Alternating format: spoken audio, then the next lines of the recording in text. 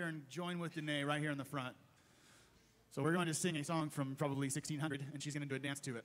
I don't know if they did the same dances back then, but she's going to lead it for the kiddos. Come on, kids. All the kids. Yeah, yeah. All yep. The Catherine's kids. there. Catherine. Yes. Where's my daughter at? Oh, okay. She, oh, oh, yep. There you go.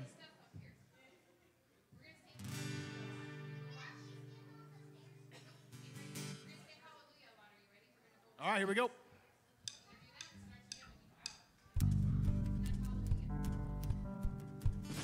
The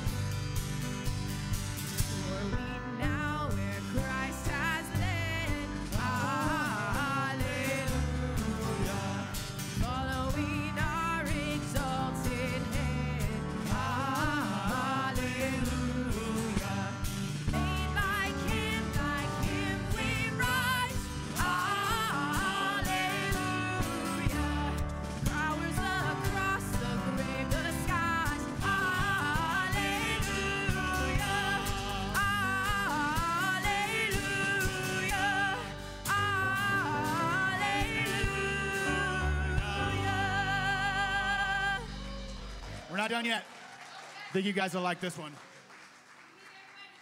Yeah, let's all stand. Come on. Everyone can dance on this one.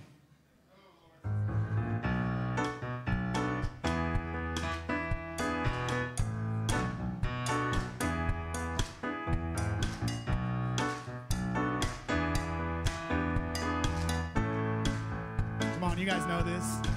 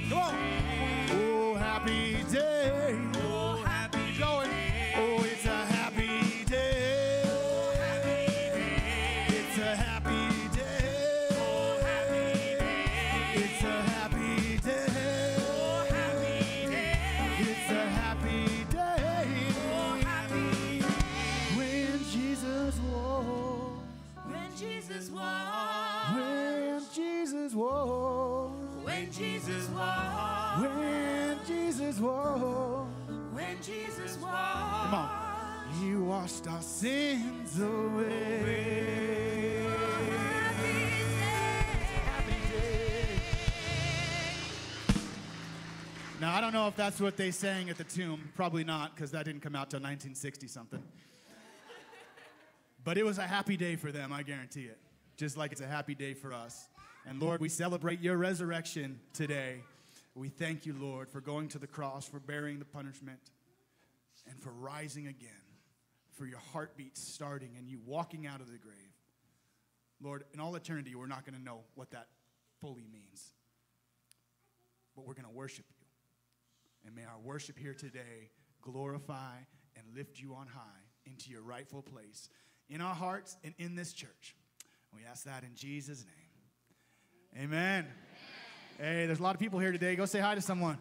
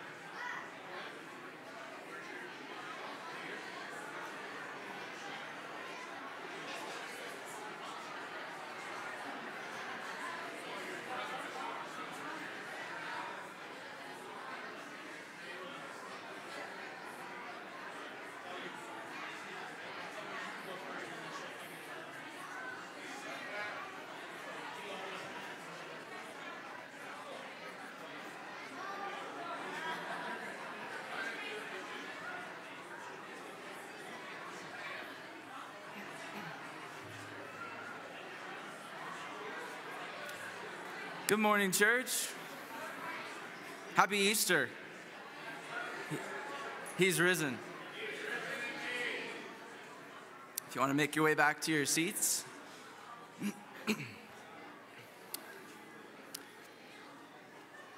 uh, so, I was, I was thinking about Easter this week. Um, I was uh, reminded of this song.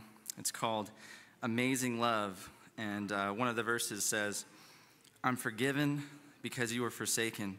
I'm accepted, you were condemned. I'm alive and well, and your spirit is within me because you died and rose again. And that's why we're here today and what Easter is all about to celebrate and praise God for his amazing love for us and how he loved us so much that he died for us and rose again so that we may have eternal life in Jesus and have a personal relationship with him. Uh, if you're visiting with us today, we're happy to have you here, and we hope you experience God this morning and the love that He has for you. After the service, uh, I'd like to invite you to fill out a visitor card. It's in front of you in the chair pocket, and when you go out the double doors, there's a prayer box that you can put your card in. Um, so now I have I have a couple announcements for you guys, but first, uh, I've been trying to think of announcements kind of more as opportunities uh, and I invite you to do, to do the same. That is, opportunities to fellowship with one another and grow in Christ together. Hebrews uh, 10 24 and 25 says, Let us consider how to stir up one another to love and good works, not neglecting to meet together, as is the habit of some, but encouraging one another, and all the more as you see the day drawing near.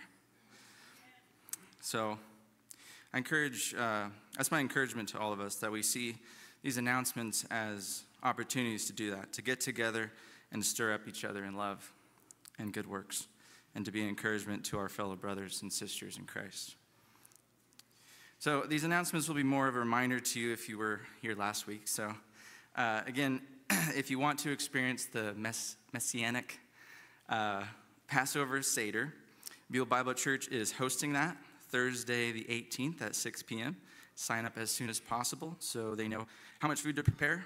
Come hungry, ready to worship, and learn about how we see Jesus through the Passover Seder. Lastly, there will be a Bible study called the Whosoevers that will be studying the biblical foundation of uh, who Jesus is through the book of John. This is starting up April 9th and will be on Tuesday nights at 6 p.m. in the fellowship hall. Sign up in the lobby. Uh, it's next to the daily Bible reading board. And for more information to sign up for these events and other events, please go to either buhlbiblechurch.com or on the BBC app. And again, visitors, thank you for being here today, and please enjoy the rest of the Easter service. Thank you.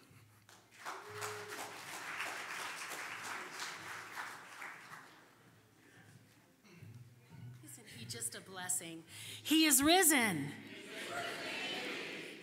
What a glorious Easter morning. Even though it's snowing and cold, it is spring, people. It is actually spring. So I want to bring your attention to the ladies' tea. We moved the date a little bit earlier this year. We have it in April 20th. Many of you are used to Mother's Day weekend, so we backed up the date a little bit. My dear friend and also Lori Campbell's cousin, Shannon Hughes, will be joining us from Calvary Chapel Emmett. She's one of the very first people I ever met in Idaho. We've been dear friends for years. She has some miracle stories of how God has worked in her life, and she has a wonderful message planned for us. So I hope you ladies will save that date. It is from 1 to 4 p.m., a little bit later this year on a Saturday. We're going to have high tea, and we're going to keep um, it a really a relaxed atmosphere. Now, you can be fancy like me. I didn't bring my, my hat, I couldn't find it. I went to go get it for you because it matches this dress. I wore this a couple years ago to Ladies' Tea. Couldn't find it for you. I'm so sorry, but you can play dress up like me. If you're a big girl that wants to be a play little girl dress up, I'm all in with you, girl. Um, or you can come just as you are. So we don't want you to think that that's just because it's tea, it doesn't mean that you have to be all dressed up. But what I want you to do is think about this. It's for all ages. We want your little girls to come. So the cost is very affordable. It's only $10 or for $5 for the little girls. And we have a little girl tea party table. And then during the message, we have an opportunity for them to have a message for their. Um, mind uh, attention span and some crafts for them to do. And so it's really for everybody. Invite your friends. It's a wonderful evangelical opportunity. A lot of ladies will come to a tea that won't set foot in a church. But they will come for this. So invite your neighbors, invite your friends. And I just really want to ask you this too. I'm, I'm in need of hostesses. So I personally am a dish hoarder, so I can actually set a few tables off of myself. So if you don't have any dishes, just come and help me pour tea. So I have information for you out there on the table. If you have any questions, if you want to sign up, sign-ups are available on the app right now or on the website. We have information and flyers for you at the table. Please come and join us for this awesome event, April 20th, ladies. Thank you.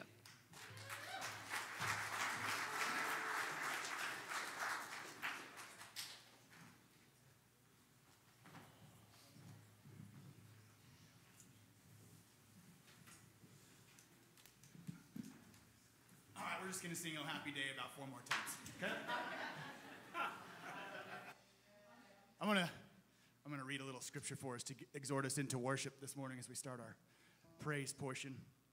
Uh, obviously, we're celebrating Resurrection Sunday today, Easter. Jesus is raised. This is out of Matthew chapter 28. Now, after the Sabbath, at the dawning on the first day of the week, Mary Magdalene and the other Mary came to view the tomb. And behold, there was a great earthquake. For an angel of the Lord descended from heaven and came up and rolled away the stone and sat down on it. Now his appearance was like lightning and his clothing as white as snow. And the guards trembled from the fear of him, and they became like dead men. But the angel answered and said to the women, Do not be afraid, for I know that you are looking for Jesus who was crucified. He is not here, for he has been raised, just as he said. Come see the place where he was lying. Jesus was raised to life again, he was then ascended on high to sit at the right hand of the power of God forever. As we sing this song, uh, we're going to join in with the heavenly choir of the holiness of God. Holy forever. He's holy forever. And, and here's, the, here's the reality we aren't. But thank God that He took the step to come to us. So let's pray. Lord, as we, as we praise you this morning, as we worship you and sing glorious praises to your name, Lord, I ask that you would inhabit the praises, open up our eyes to your presence here this morning, and bless this time of offering to you. In Jesus' name. If you want to stand with us, please stand. If you want to remain seated, that's fine. Let's just worship the Lord together.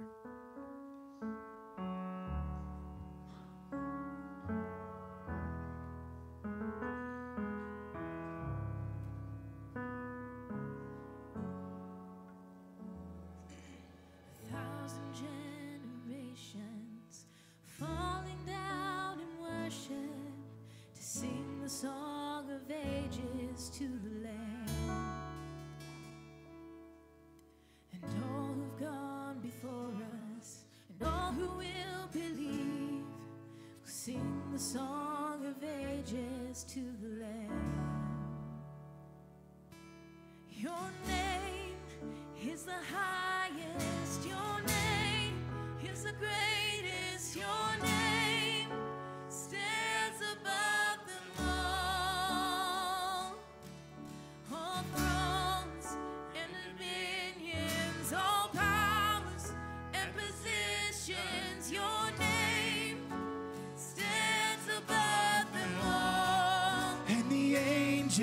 cry, Holy,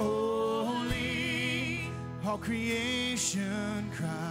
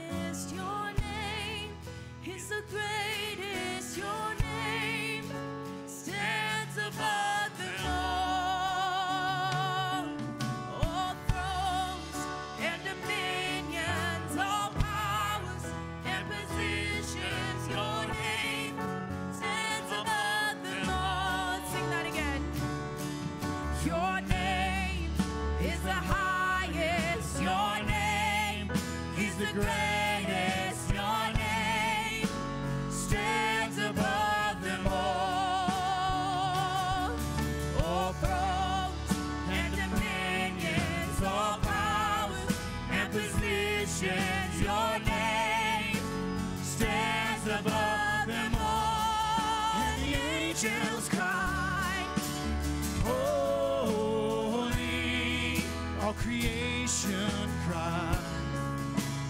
Oh.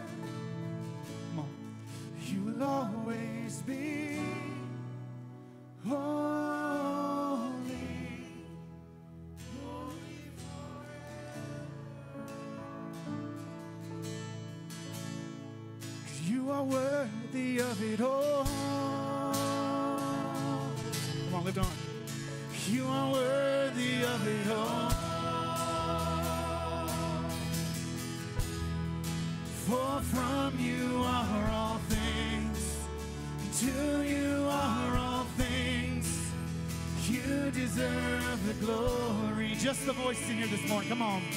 You are worthy.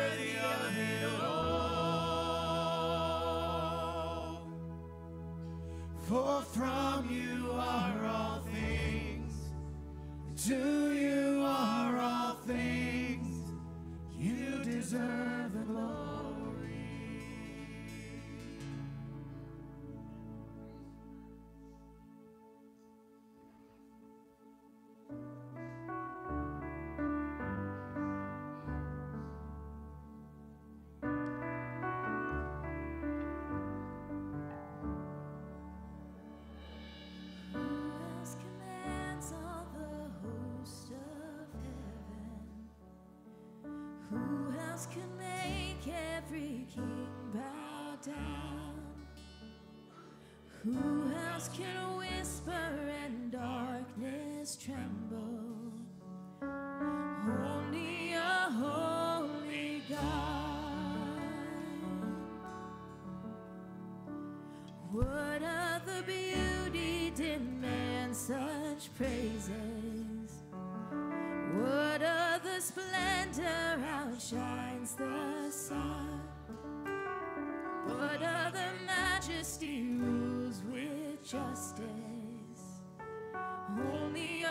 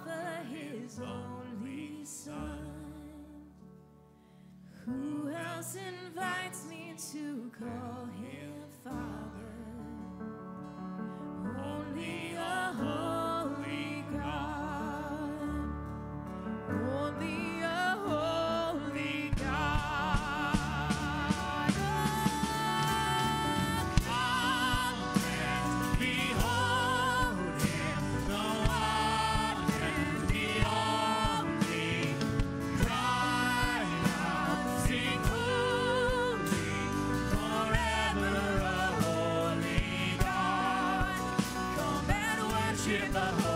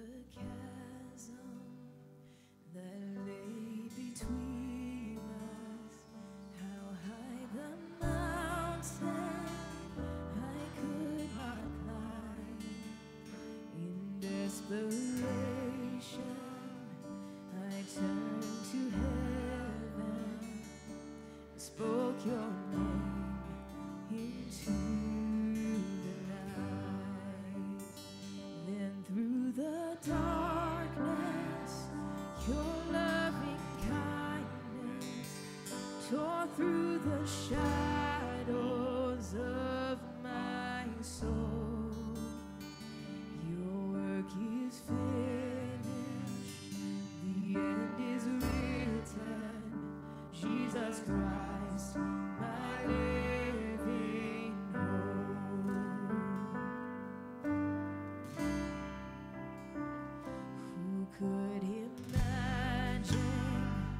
So great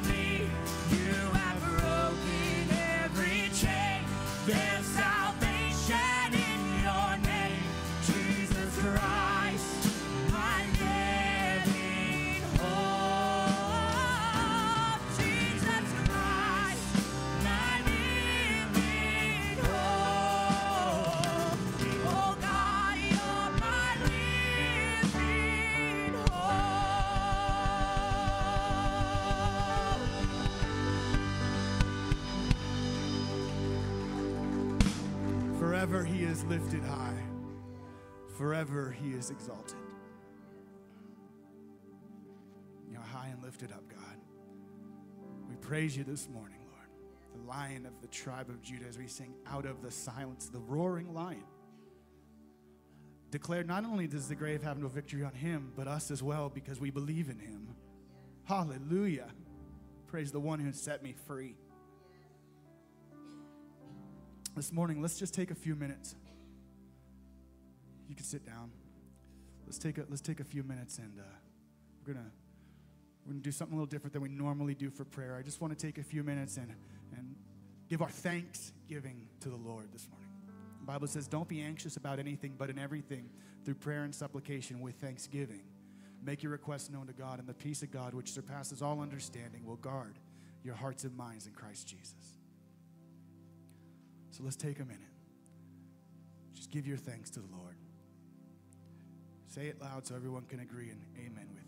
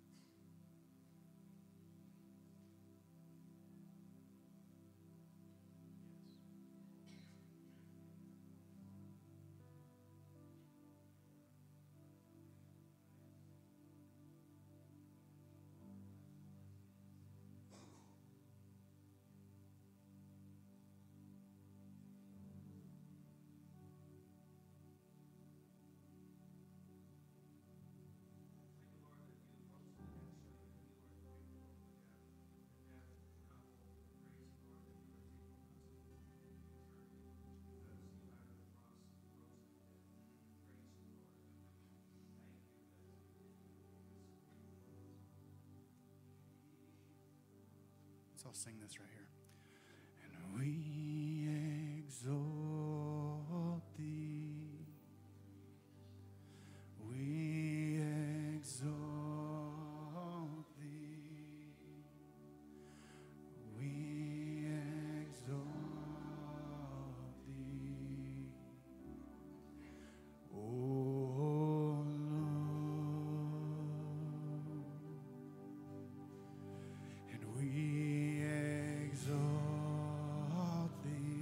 you high. We exalt thee. We exalt thee. O Lord. We exalt you, God. We thank you, Jesus. We lift these things up sacrifice of praise to your throne. Continue to be magnified through the reading of your word, through the preaching of your word this morning. That the, the lost sinners would find their way as we are all lost without you, God. We ask that in Jesus' name.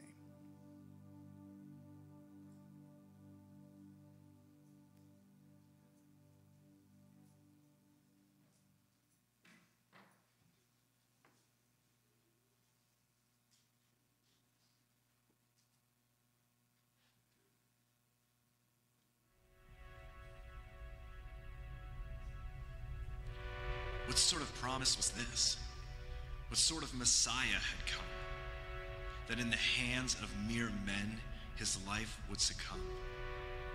What happened to the miracles? What happened to calming the waves? Now there's only darkness surrounding, and there's hell to be paid. It wasn't supposed to end this way. He had only just begun. And the prophecy told us he was supposed to be the one. The one who bring freedom from these laws like prison chains. The one who reconciled the people by the power of his name. Yet here he is, betrayed and deserted on a cross. And after crying out to his father, even he seems lost. And as he exhaled his last, the whole earth shook in a rage. The veil was ravaged, and the Savior was slain. But lo, in the grave he would not stay. For death could not hold the Savior at bay. For the darkest of night comes just before dawn, and with the next breath he took, the Messiah had won. And as he emerged from that tomb, no longer a slave to the darkness that swore it would swallow his name, the cords of his death trembled, retreated, and cowered, his sentence repealed by the evidence of his power.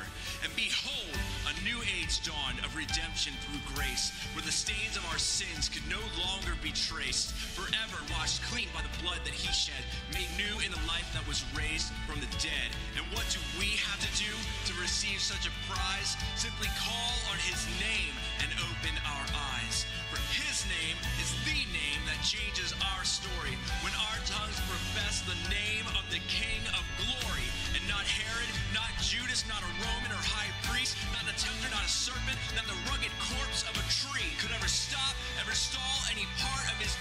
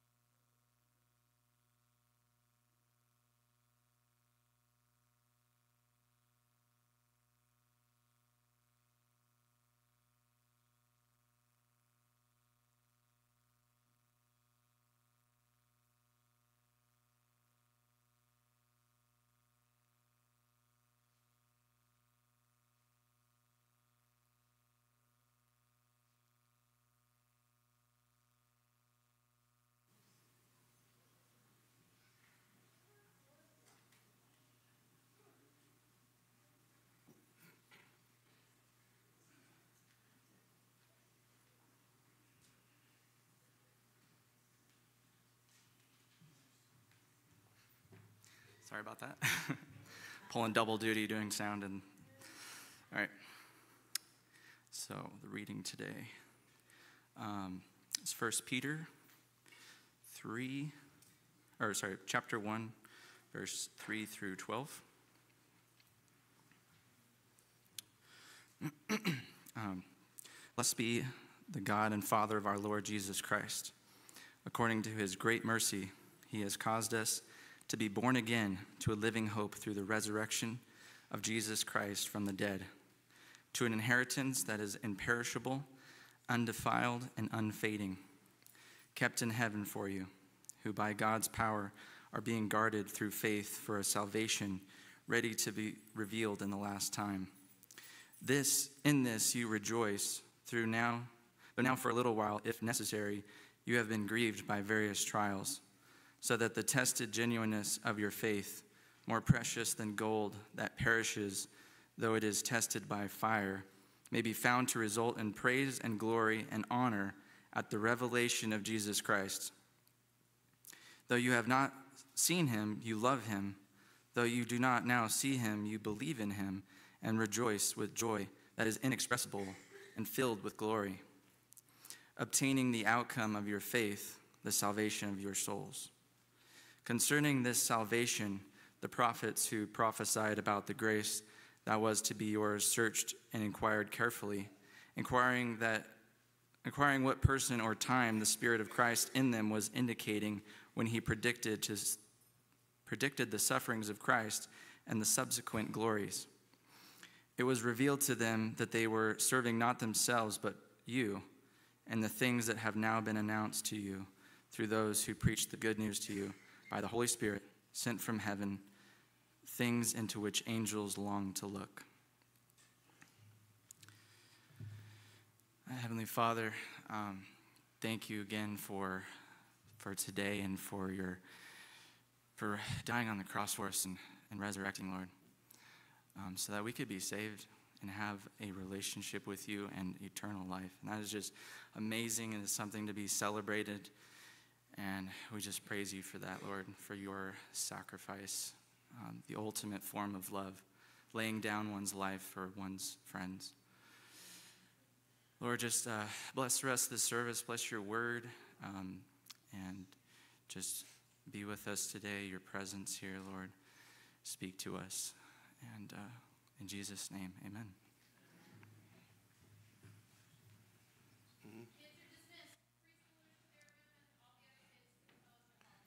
See you guys.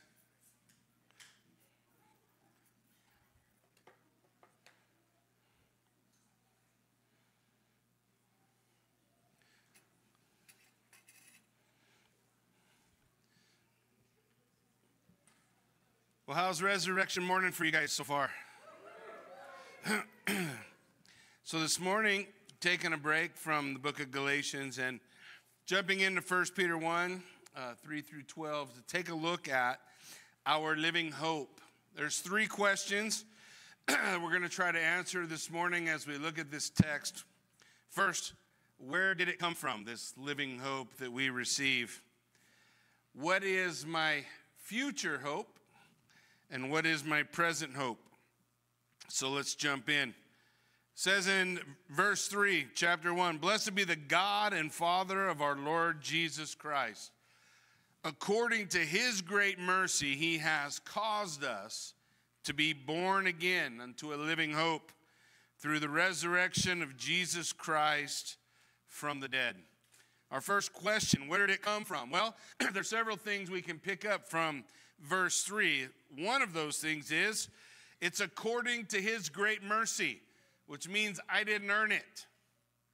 I didn't earn this. This is free.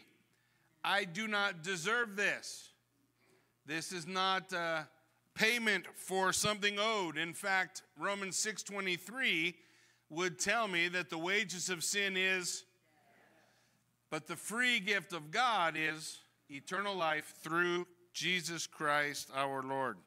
So when we look at the reality, there's, there's, if we're going to understand where it comes from, the first thing we need to know is it comes from the mercy of God. The Bible calls it grace. now, sometimes words can be overused. Perhaps we have put that word a bit to the test, but the idea is that it is not deserved. In fact, when we look at Ephesians chapter 2, it's one of my favorite sections of Scripture. I say that every time I talk about somewhere in the Bible that we're going to go. But in Ephesians 2, it talks about uh, the night of the living dead. It says, And you were dead in your trespasses and sin, in which you once walked, following the course of this world, following the prince of the power of the air, the spirit that is now at work um, in the sons of disobedience, among whom, listen to this, we all once lived. We all come from the same place. We all come from a position of separation from God, separation from His holiness, separation from His presence, separation from uh, being able to uh, experience um, a relationship with God Most High. Our normal state, the way we walked through this world, the way we lived our life. Do you see how Paul described it in Ephesians? In the way you once walked, that's our manner of living. You remember our manner of living?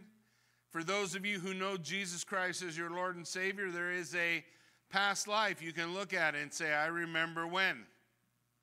For those of you who don't know, this maybe doesn't make as much sense. For those of you who don't know Christ, it's the manner in which you are walking today. You are in the darkness. Oh, I know that you don't know that it's darkness. That's the whole point. Scripture goes on to say you're following the prince of the power of the air, the spirit that is now at work in the sons of disobedience. That means we're following the enemy of our soul, the one that Peter challenges us to be wary of, because he is a roaring lion, what? Seeking whom he may devour. He has come to steal, kill, and destroy. And that's where I was. That's where I was. I walked there. I talked there. I, I, I followed those same paths. I was in the darkness, experiencing the ability to see as, as well as I thought I could. It was not until Jesus brought light that I realized I couldn't see. I was fine. Everything around me was just exactly how I wanted it to be. You see, that's the spirit that is now at work in the sons of disobedience.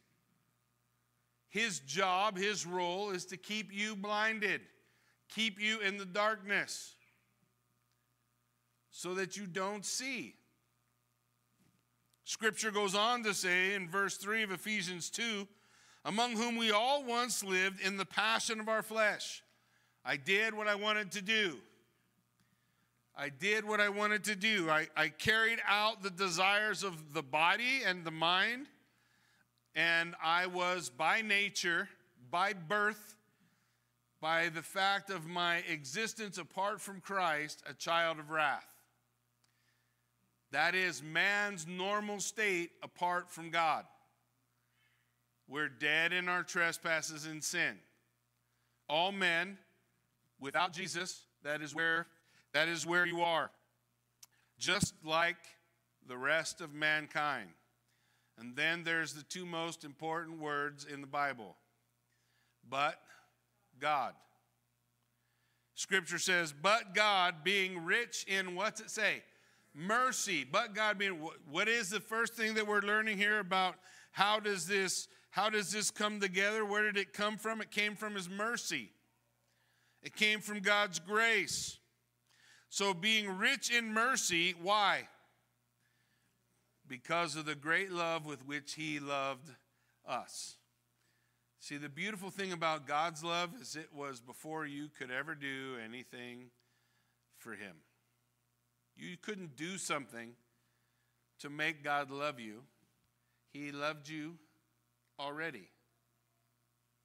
And because He loved you already, John 3:16 tells us, right? For God so the world that he gave his one and only son. His only son that whosoever believes in him should not perish but have Was that true? Because of his mercy, because of the great love with which he loved us, even when we were dead in our trespasses, meaning nothing we could do to earn it, he made us alive. Jesus talks about this in John chapter 3, verse 3. He says, Truly I say to you, unless you are born again, you cannot see the kingdom of God. That's what being born again is like being made alive, having your eyes open for the first time, seeing the light, as Paul on the road to Damascus did, realizing for the first time, perhaps, that you have been blinded and the activities and the desires of your life and of your heart were at enmity with God, meaning our natural state is war with Him. But God, through His mercy, through His grace, He makes us alive together with Christ, for by grace you have been saved. So the first thing we see is where does it come from? It comes from His great mercy. Scripture goes on to say, He caused us to be born again, coming back to life, to a living hope through the resurrection of Jesus Christ from the dead. Why does the, why does the resurrection matter? Because this is how it works. Because of the resurrection. What do I mean? Well, when the Holy Spirit comes into our lives, when we have our moment with the Lord and the Holy Spirit comes into our life, we enter into a position of salvation. He is making us a new person. We are united to Christ. You are united to Christ in his death, and you are united to Christ in his resurrection. When we go through the act of baptism, what is baptism? Baptism is a, an illustration, it's showing an event that already happened in your life. What happened? You put your faith and trust in Christ, you called upon his name, he entered into your life, and you died with Christ. You go beneath the water to signify your death. Galatians 2:20 says, "I have been crucified with Christ. It's no longer I who live, but Christ who lives in me. And the life I live in the flesh, I live by faith in the Son of God who loved me and gave himself for me." Paul writes in Romans chapter 6 verse 5, "For if we have been united with him in a death like his, then we will be united with him in a resurrection like his. So we go beneath the water in baptism, signifying the death.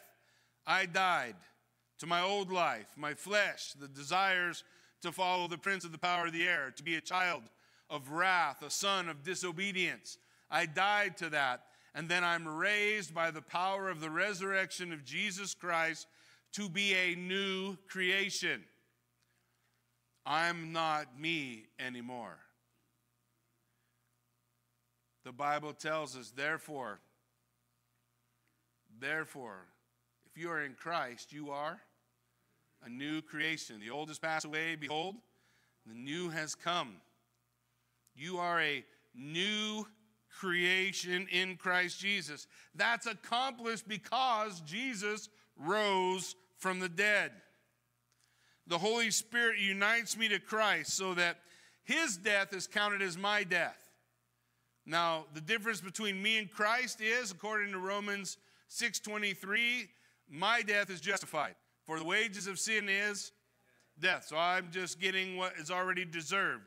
But Christ, he took my death for me. And because he who knew no sin became my sin for me, that I might become the righteousness of God, death could not hold him. So he rose. So I am united in death with Christ, the death to my old life, the death to sin, and I am raised to new life with him. So this is how we have been born again into a living hope. We've been born again into a living hope by his great mercy through the power of his resurrection. How is it that this occurs? How do we get to this place? One of my favorite places to look at this is Ephesians chapter 1. In Ephesians chapter 1, verses 13 and 14, speaking of our bracha, it's a blessing, a, a song of blessing. Every once in a while, Paul breaks into a run on sentence. Have you guys ever known people who do that? And his run on sentence, he just gets so excited about what we have in Christ that he can't stop talking. He never puts a period in. So he would just go. That's a song of praise, a bracha in Ephesians chapter 1. Toward the end of that bracha, in verses 13 and 14, he says, How is it that this occurs? How is it that you are born again? How do you enter into this relationship with the God of the universe? It says, In him, you also, when you heard the word of truth, the gospel of your salvation, you don't have to wonder what's the word of truth. It's the gospel of your salvation. And you believed in him. You put your trust in him. Then you were sealed with the promise of the Holy Spirit, who is the guarantee of our inheritance until we acquire possession of it to the praise of his glory. It is inaugurated. And the and the what's left behind when it occurs, the inauguration is means that something has occurred. Something happened, but we're looking for a fulfillment down the line. There's a day when your salvation will be nearer than it is today. Though today, you, if your faith and trust is in Christ, you are absolutely secure. What do you mean? Well, right now, you are being saved. You are saved, you are being saved, and you will be saved. And when you see Jesus face to face and you acquire the full possession of the loss of your sin nature, the broken parts of you, everything in you that was messed up, or jacked up or twisted up, all the questions you have that you have no answers for, that you're frustrated about, everything in your life that causes you any in any way to be in any kind distant from God. Jesus is going to with just one pass of his thumb across your cheek, he wipes away every the Bible says tear all your sorrow, all your brokenness, all those things gone. Today we have an idea of what salvation is. On that day, you're going to hold it in both hands. You're going to feel it in all of your being. It's going to be so overwhelming. I don't even think you're going to be able to, to imagine it if you tried. So, the guarantee that that's coming is the Holy Spirit He's given you. The Holy Spirit that God has given you is your wedding ring, the proof that you belong to Him, that you are His, and He is yours, and He will finish what He has begun. For if He has begun a good work in you, He will be faithful to complete it. Amen? in Ephesians 1:18 it says then having the eyes of your heart enlightened so that you may know what is the hope to which he has called you and what are the riches of his glorious inheritance in the saints. So what is this miracle of salvation that takes place? The eyes of your heart are open and you see. You understand, you recognize, you see the glory of Christ through the gospel that was shared to you. And just like the man that Jesus described in Luke 18, you find yourselves before the King of glory with your hands open wide, and you call out for his mercy, which he is more than willing to give. In Luke 18, verse 10, it says, Two men went to the temple to pray, one a Pharisee and the other a tax collector. The Pharisee, standing by himself, prayed thus God, I thank you that I'm not like other men, those extortioners, unjust people, adulterers, even like this tax collector standing afar off. I fast twice a week. I give tithes of all I get. But the scripture says the tax collector just stood afar off, would not even lift his eyes to heaven. But rather, he beat his breast and said, God, be merciful to me, a sinner. I tell you, this man went to his house justified. That's a description of what it is to be saved. What did, what did Paul do on the road to Damascus when the light shone from the heavens and he falls to the ground blinded? He can't see in this world, but he can see in the other. What did he do? He did what this man did. He beat his breast and said, Lord, have mercy on me, a sinner. And the Lord told him what things he would do. What about Peter? What about Peter after denying Christ three times? What did he do? Was it different than this? Jesus comes to him in John 21 and asks him three times if he loved him. Can't you hear, can't you see the illustration in Peter's relationship to Christ of him on his knees, beating his breast and saying, Lord, have mercy on me, a sinner? And what happened? Lord had mercy on him, a sinner and he was justified. This is how we come into this the beautiful statement of this living hope, being born again, a new creation in Christ Jesus to a living hope, not a dying hope, a living hope. How do we enter into it? We hear the gospel, we put our faith and trust in him. We fall before the Lord on our knees and we cry out, Have mercy on me, a sinner. Repent and believe. That's it. Simple, What is the gospel? The gospel is this. You and I were separated from God, we're separated from Him. Romans 3:10 says as it is written there is none righteous. How many? No not one. For all have sinned and fall short of the glory of God right? We are in a place separated from God. But Romans 5:8 says that God's love toward us is shown this way that while we were sinners, Christ died for us. So he makes provision. What's Romans 10 9 and 10 tell us? That if you confess with your mouth that Jesus is Lord and believe in your heart that God raised him from the dead, you will be saved. For with the heart one believes and is justified, and with the mouth one confesses and is saved so we can make the declaration that Joel did in Joel chapter 2 that everyone who calls on the name of the Lord shall be saved.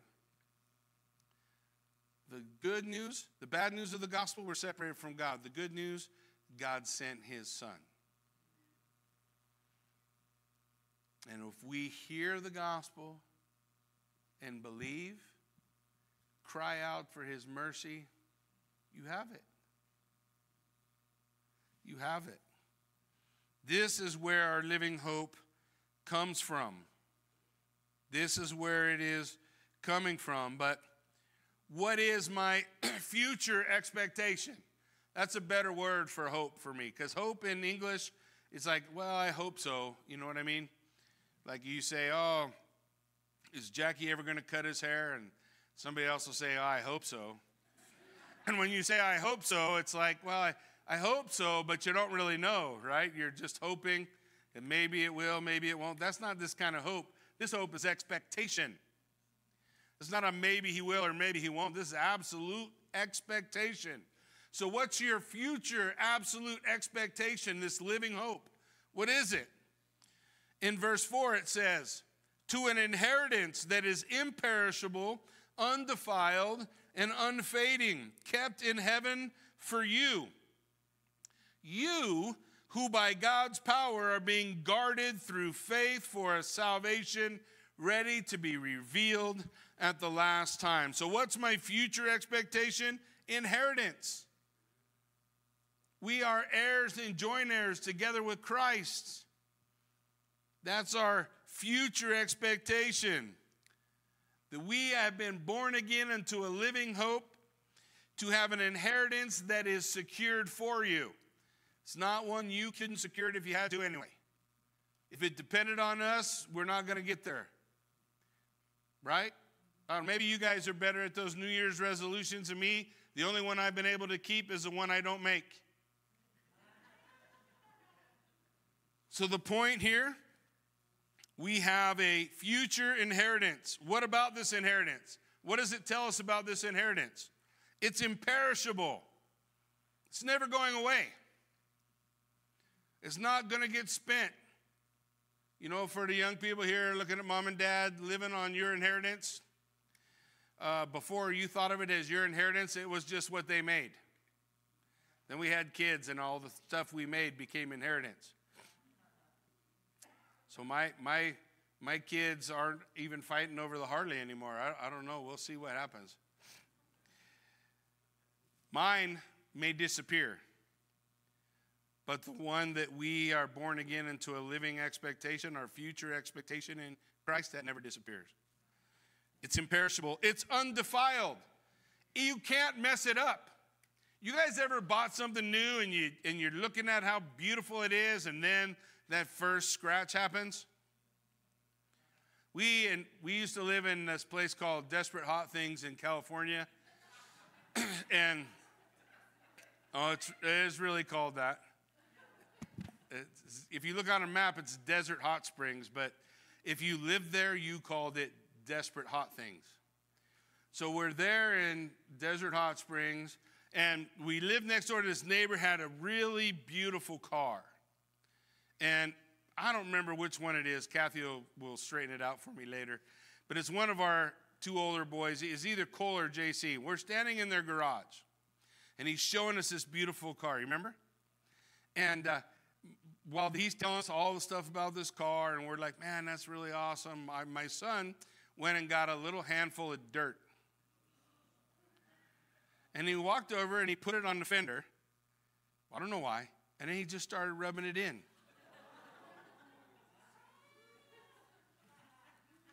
So that brand new car was not undefiled. It was defiled.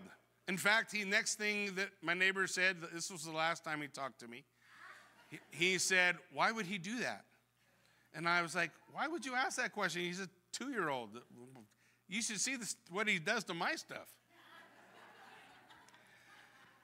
this inheritance that we have in Christ is undefiled, no defect, doesn't get scratched. There's no, there's, there's nothing that can jeopardize your inheritance. Just listen to that for a minute. There's nothing that can jeopardize your inheritance. It is undefiled and it is unfading. It's not fading away. It's not like, well, once it was really cool, but you know, now 20 years later it's not so cool.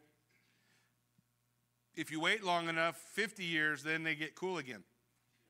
But then you get to 70 or 80 years, and then it's not cool again. You know how things go. But the inheritance that we have through this living hope in Christ, this inheritance, it doesn't fade. And here's how I want you to see that it's not boring, it's brighter. The problem with us when we think about an eternity with Christ, all you can think about is ethereal, heavenly, weird things right? Like harps and clouds and all that stuff. Is that what you guys do? No? Okay, well, then maybe you're not broke like me. But listen, we are earthly. So, how do we think of heaven? In beautiful earthly scapes. You get on top of a mountain and you see the sunrise, and you look out over the woods, or you're at a beach and you see the sunset at the beach, or whatever the case may be, you look over these things and you think, oh my gosh, this is fantastic. Well, whatever your hope, your inheritance is, is brighter than you can imagine, and it's not boring. It's not sitting around in a circle with a bunch of drums singing kumbaya unless singing kumbaya is your thing, and then maybe it is. Was my point is, is it's it is not fading. It does not diminish. That moment, the, the feeling you felt at the end of that video when it says he's the great I am, and that feeling of victory and rejoicing, you just want to shout. It's that multiplied by multiple thousands, hundreds of thousands, forever. It's that feeling, looking into the eyes of your Savior. this inheritance, imperishable, undefiled, unfading. But there's more. Where's it at? It's kept in heaven. It's not in the first bank or wherever you hide your good stuff. You guys know where that is? Yeah, you know that it doesn't always stay there? You ever knew where you put something and never found it again? This is still looking. Oh, good luck. Maybe today. I want you to understand that this is kept for you in heaven. Kept for you. Listen to the words he uses kept in heaven for you. It's not your job. It doesn't depend on you. Who does it depend on? It depends on Christ. I know in whom I have believed and I am persuaded he is able to keep me into that day. And so he's saying it's kept in heaven for you, who by God's power are being guarded through faith for a salvation ready to be revealed at the last time. That's that one where you see his face and you go, man, I never thought it would feel like this. I mean, when I was saved, the, the feeling that I had in that moment was incredible.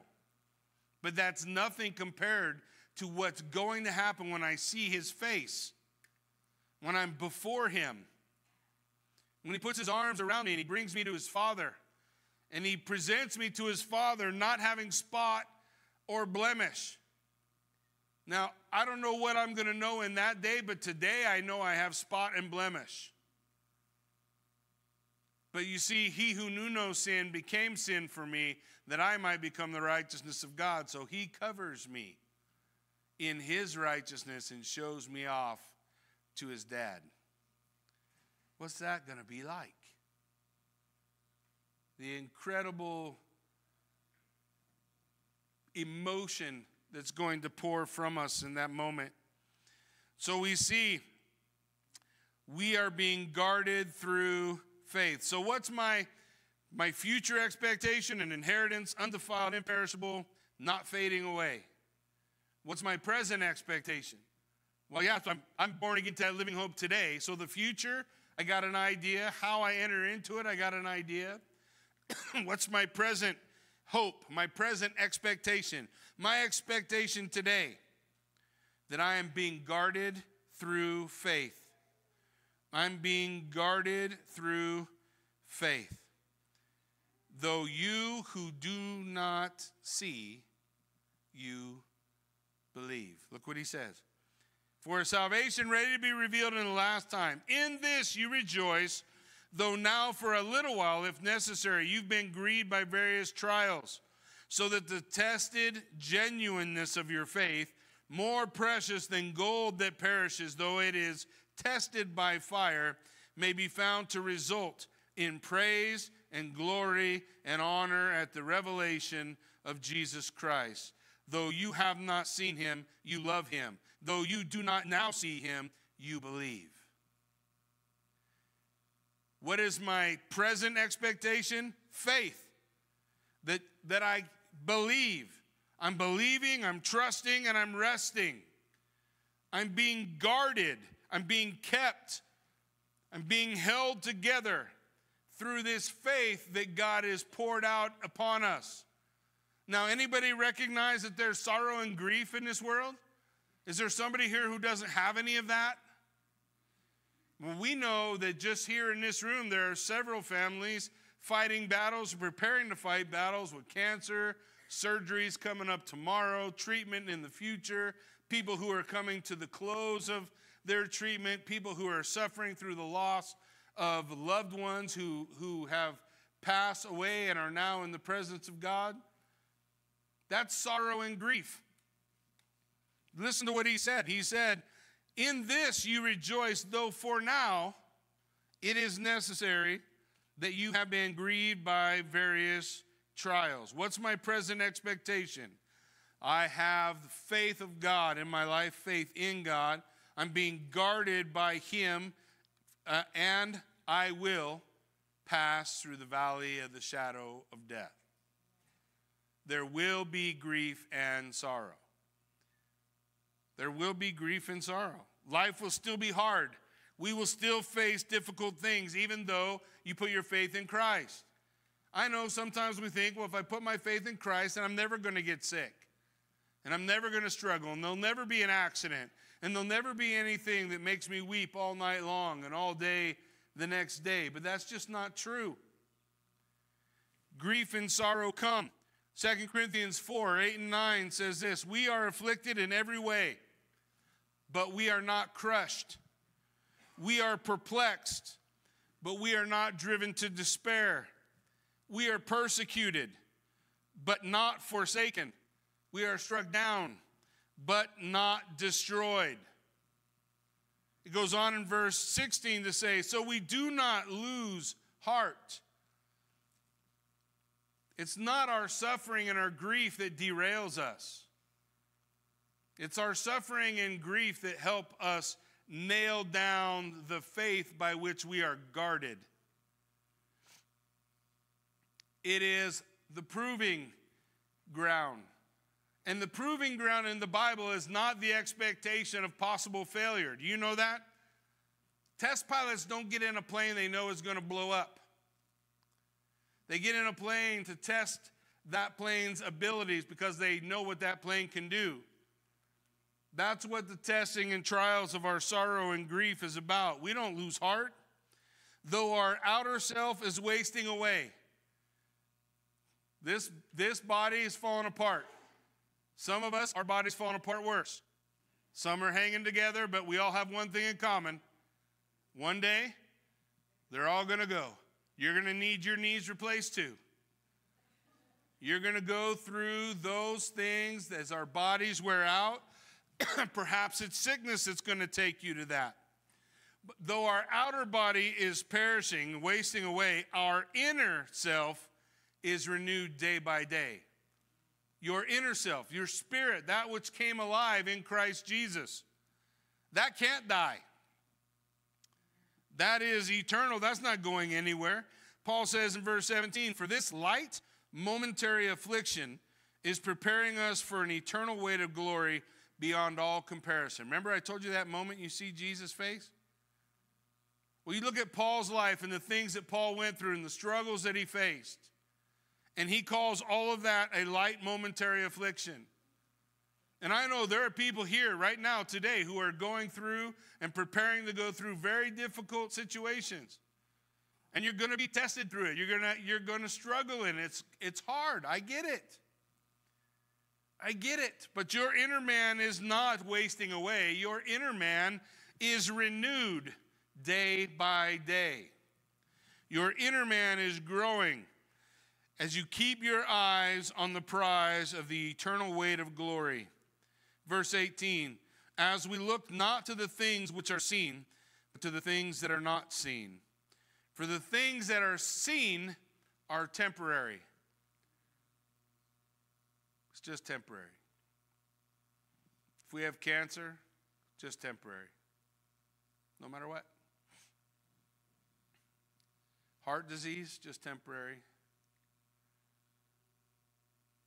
whatever we're facing, whatever pain that is in our life, the living hope that we've been born again to in Christ Jesus, He takes all of it. The psalmist declares that there is a bottle the Lord has. You know what He keeps in it? Your tears. Do you know why?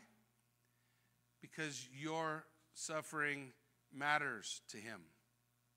It's not that it doesn't matter, that he doesn't care, that none of that is a big deal. He's saying, no, far from it. Your suffering is working out an eternal way of glory.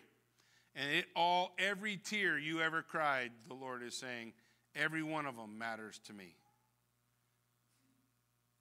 He keeps them. These things that we see, they are transient, but the things that are unseen are eternal. We can't see yet, but we will. Yes? 2 Corinthians 6:10 says, "As sorrowful yet always rejoicing, as poor yet making many rich, as having nothing yet possessing everything." This is our attitude in rejoicing through the sorrow and grief. Yes, life, our expectancy for today is there will be sorrow and grief. But our expectancy for today is that we will have faith. Our expectancy for today is that we are being guarded. The Lord is keeping us. Also, our expectancy for today is that we would have love, for though you have not seen him, you love him. Something happens. Once upon a time, there were a lot of things I treasured in life. A list I had once about all the things I had to accomplish before I was 30, lists that I had about things I needed to possess. And throughout my life, I've had the opportunity to possess most of them. And the glory diminished and it faded away and it perished because it's not an inheritance that is imperishable. It was just stuff. And then I realized that Jesus is my treasure. And since Jesus is my treasure, there's nothing that can get in that way. So, my expectancy as, a, as being born again into a living hope, the love of God is poured out in your life through the Holy Spirit that was given for you. Romans 5 5. He has poured out His Holy Spirit through which you are able to love Him. Deuteronomy 36, not 36, 30, pause. Verse 6 talks about God regenerating your heart so that you will love Him with all your heart, soul, mind, and strength. you ever thought of the greatest command, the greatest command ever given, that you would love the Lord your God with all your heart, soul, mind, and strength? And then on the other hand, thought to yourself, how can I do that? I fall short of that. And then to realize that God's promise in Deuteronomy 30, verse 6, is that He can give you a new heart through the new covenant, through the blood of His Son, Jesus Christ, by pouring His Holy Spirit into your life so that you will love the Lord your God, whom you have not seen, but you love. Present expectation. And then finally, he talks of the joy.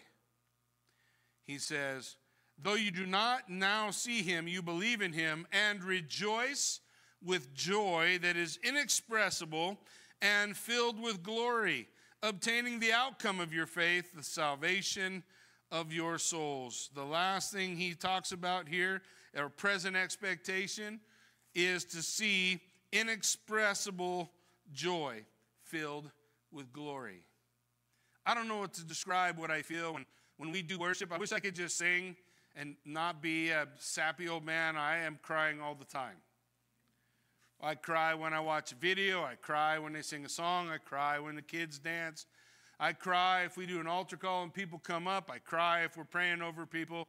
Uh, doesn't matter what happens, I cry. Always tears ready to spring to my eyes. Those, those tears in my eyes, it's, uh, it's not sorrow. Now, don't come up to me after church and say you want to take away my man card. Those tears are not sorrow, those tears are joy, inexpressible.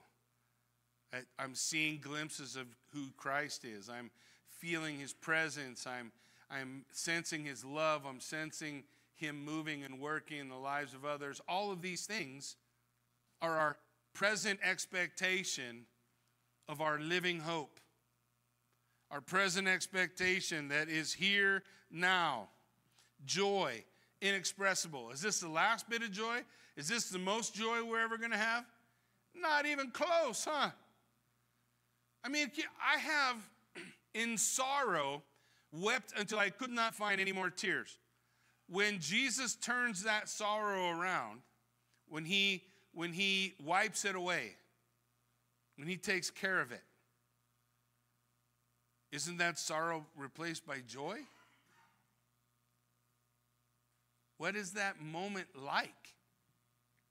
What is that moment like when you're before the one who was beat by the fists of man because of the joy he saw in you?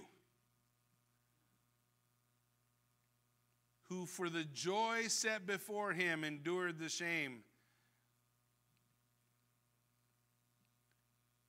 What, what's that moment? How much joy is going to be in that place?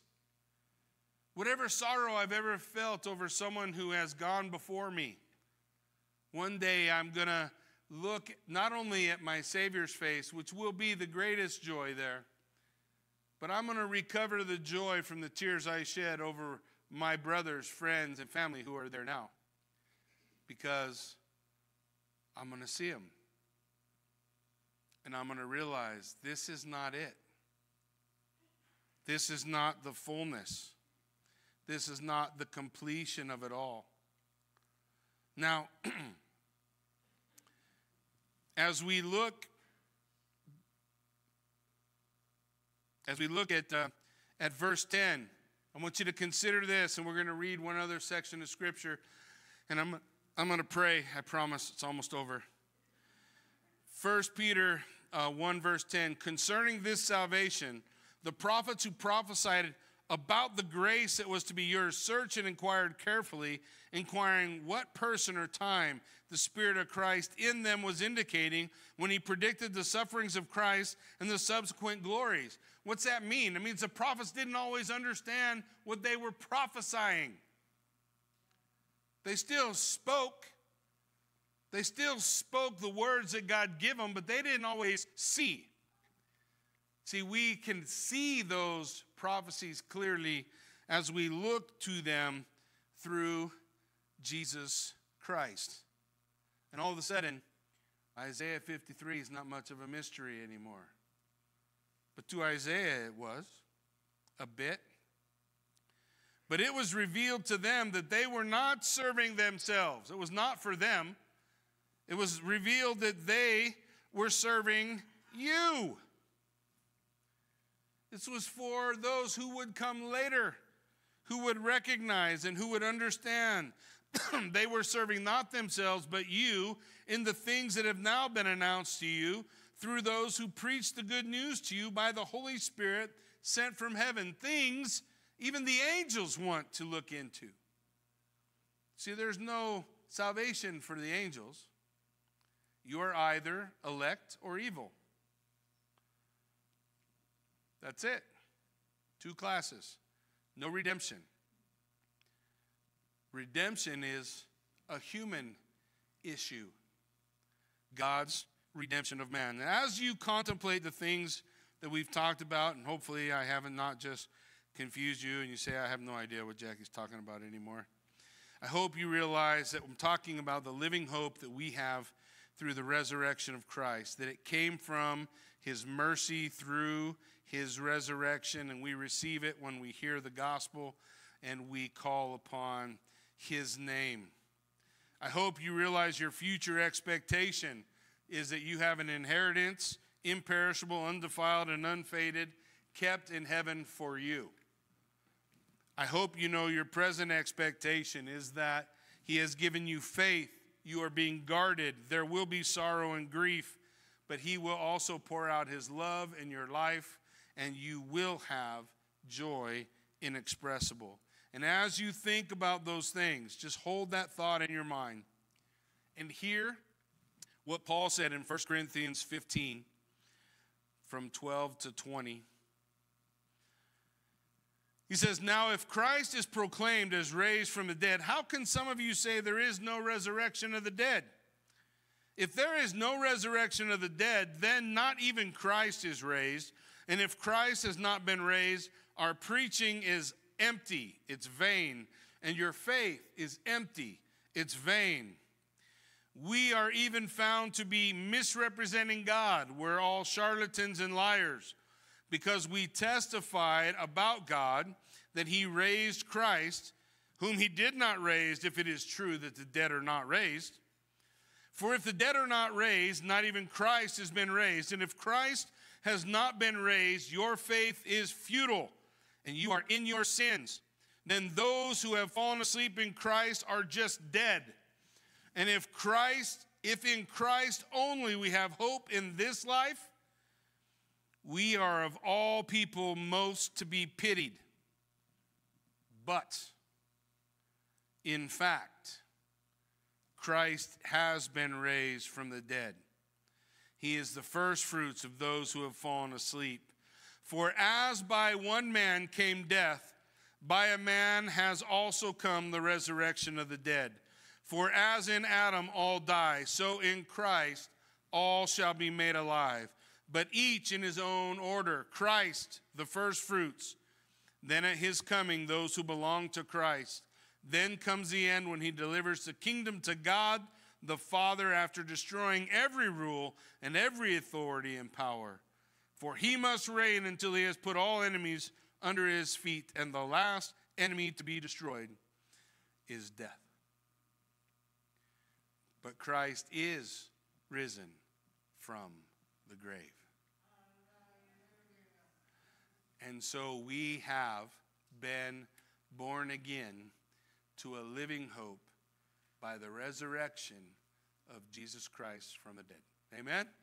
Why don't you guys stand with me? Let's pray.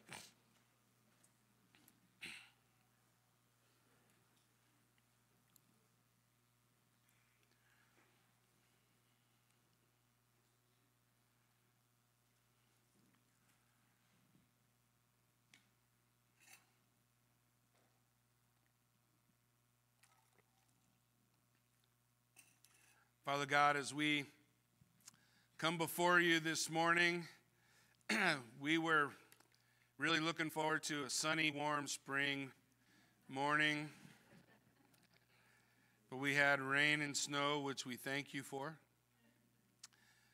Lord God, uh, I just pray for those who are gathered in this place today. I pray for those who don't know you.